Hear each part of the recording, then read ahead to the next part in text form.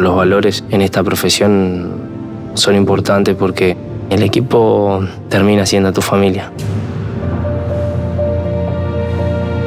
El esfuerzo que hago, el sacrificio, la capacidad de no rendirse nunca.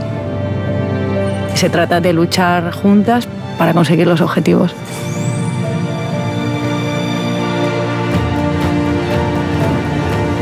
Las cicatrices son historia. Tienes que aprender a convivir con ello porque no siempre se puede ganar. Cuando las cosas se ponen difíciles es donde aparecen los líderes, las personas importantes. Lo que nos identifica es nuestra manera de expresarnos ante el mundo.